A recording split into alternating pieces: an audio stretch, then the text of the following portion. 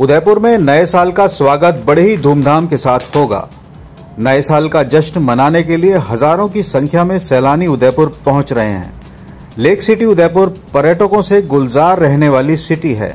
ऐसे में उदयपुर शहर के सभी पर्यटन स्थल इन दिनों पर्यटकों से गुलजार हैं। वहीं उदयपुर की होटल और रिसोर्ट भी पूरी तरह से फुल हैं। होटल एसोसिएशन के उपाध्यक्ष राजेंद्र अग्रवाल ने बताया कि इस बार भारी तादाद में पर्यटक आ रहे हैं। ऐसे में पर्यटकों के आने से होटलों में 70 से 80 फ़ीसदी की बुकिंग हो चुकी है। होटल व्यवसाय पर्यटकों का स्वागत करने के लिए आतुर है। नव वर्ष पर इस साल पर्यटक के आने की पूरी उम्मीद थी, वह भी पूरी हो रही है। साथ ही जनवरी को लेकर भी पर्यटकों की होटलों में बुकिंग के इंक्वायरी आ रही हैं तो वहीं होटलों की बुकिंग के साथ ही होटल व्यवसाय जोरों शोरों से तैयारियाँ कर रहे हैं। इस वर्ष दो वर्षों के कोरोना के पश्चात पर्यटन अपने बूम पे है। निश्चय ही इस वर्ष देश विदेश से पर्यटकों की काफ़ी अच्छी संख्या है। गुजरात महाराष्ट्र दिल्ली मध्य प्रदेश और भी जो अन्य पड़ोसी राज्य हैं वहाँ से बड़े पैमाने पर पर्यटक आए हैं और वे दिसंबर क्रिसमस की छुट्टियों छुट्टियों से लेकर नववर्ष मनाने तक की काफ़ी पर्यटक हैं हैं। होटल व्यवसाय में किस तरह की स्थिति बहुत सारी होटल्स में सत्तर से अस्सी प्रतिशत से अधिक बुकिंग्स हो चुकी है नववर्ष पर और क्रिसमस पे भी काफ़ी अच्छी बुकिंग रही है।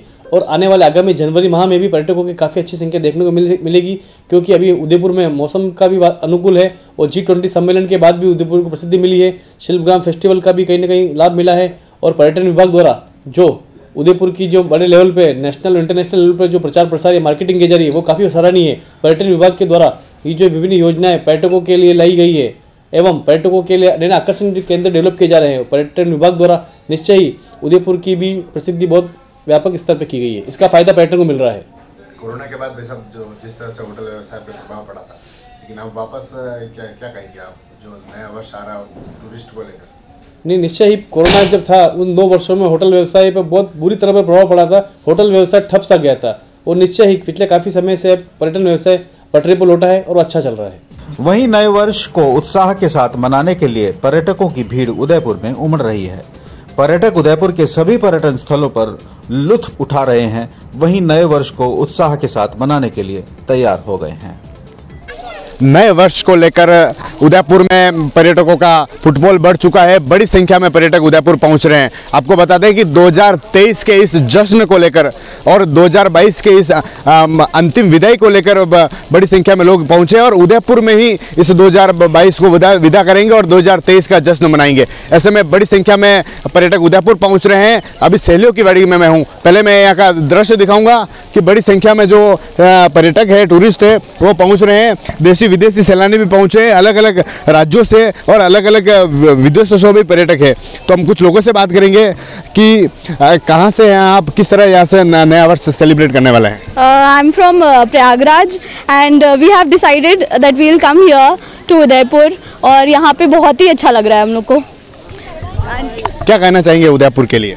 Uh, मैं ये कहना चाहूँगी that I am having a lot of fun and I am enjoying aunty ji 2023 आने वाला है। कैसे सेलिब्रेट करने वाले हैं उदयपुर में? आप हाँ इंजॉय करेंगे आ,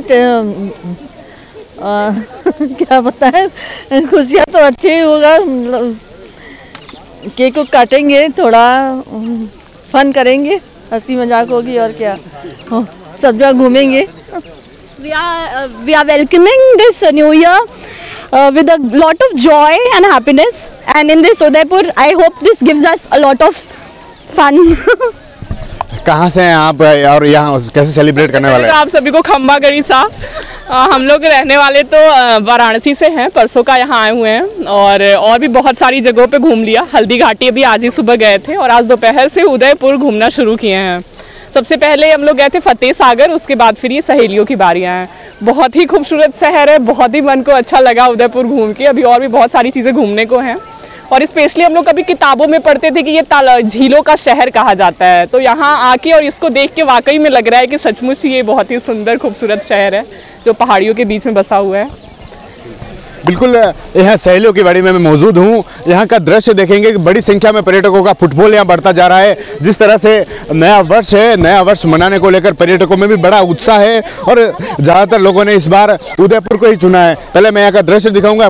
बड़ी संख्या में लोग यहाँ हैं और इस जो अलग अलग टूरिस्ट पैलेस है, उनको घूम रहे हैं। कुछ लोगों से और बात करेंगे कि कितना उत्साह है क्या क्या देखते हैं और कहाँ से आए कहाँ से आए और कैसे नया वर्ष मनाने वाले हैं इस बार? हम जयपुर से आए और ये जो सहेली की पहाड़ी बहुत ही अच्छी लगी हमें। यहाँ पे जो ये फाउंटेन है बहुत ही अच्छा है और हम सबने बहुत इंजॉय करा। हमारे साथ छोटे छोटे हमारे जो भाई बहन भी थे हमने बहुत इंजॉय करा बहुत अच्छी लगी।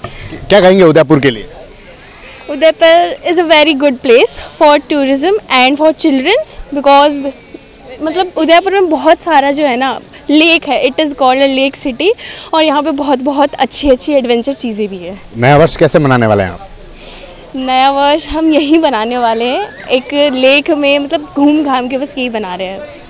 क्या कहेंगे उदयपुर के लिए कहाँ से हैं आप? कैसा लग रहा है यहाँ के? जी मैं जयपुर से हूँ और उदयपुर एक बहुत ही अच्छा शहर है और यहाँ बहुत अच्छा लग रहा है। बच्चों के साथ फैमिली के साथ आए हैं और ये बहुत ही मतलब घूमने लायक है एक जगह। कैसे नया वर्ष मनाने वाले हैं इस बार आप? हम बच्चों के साथ और एंजॉय करने वाले हैं यहाँ यही नया वर्ष मनाने वाले हैं। कैसे नया वर्ष मनाने वाले हैं इस बार आप? हम बच्चों के साथ और एंजॉय करने वाले हैं यहाँ यही नया वर्ष मनाने वाले हैं। बड़ी संख्या में उदयपुर के के साथ ही अन्य जो ज़िले हैं, अन्य राज्य है और अन्य विदेश, विदेशों भी यहाँ लोग हैं और उस तरह से जो नया वर्ष है, यहाँ मनाने वाले हैं कि बड़ा इन्जॉय यहाँ करने वाले हैं। और कुछ लोग हैं जिनसे हम बात करेंगे कि कहाँ से हैं आप और यहाँ क्या कहेंगे उदयपुर के लिए? बिल्कुल बड़ी संख्या में लोग हैं और एक टूरिस्ट का फुटबॉल है। कहें तो एक फुटबॉल टूरिस्ट का है, वह यहाँ बड़ा बड़ा है और लोगों की जो नया वर्ष मनाने वाले कहते हैं कि उदयपुर एक लेक सिटी है और कई ऐसी हिस्ट्री है जिसमें उदयपुर का नाम है और ऐसी ट्रेवल्स एंड मैगजीन्स जो सूची है, उनमें उदयपुर का नाम है। उसके साथ ही जो लेक सिटी कहे जाने वाले इस उदयपुर को कई उपलब्धियाँ मिली है। ऐसे में जो लोगों का उत्साह देखने को मिल रहा है, नए वर्ष को लेकर बड़ा उत्साह है। पल पल राजस्थान के लिए राजेश डांगी।